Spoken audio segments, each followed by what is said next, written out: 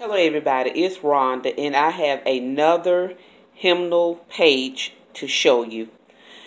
First of all, I used the song All Things Bright and Beautiful and then I used the song Jesus Loves Me.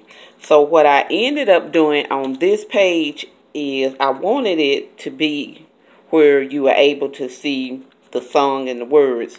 So I just put a little vellum piece right here and added some little stickers out of uh, illustrated faith little pad I had. So I added those stickers. And then here's my little tab that I have been putting on my books. Some little washi tape. So that was that page.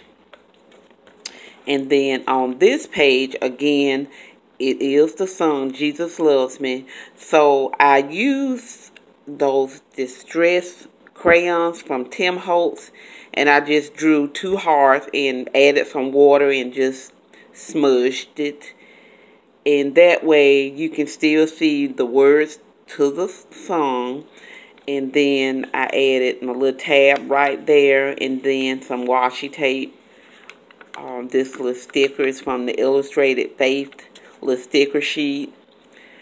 And that was that page. So I think the pages came out pretty cute. And I want to thank you all for watching. I have had some new subscribers that have came over. And again, I'm so appreciative of you and just stick with me and hopefully I still have content that you would be interested in. So have a great day and I will talk to you later.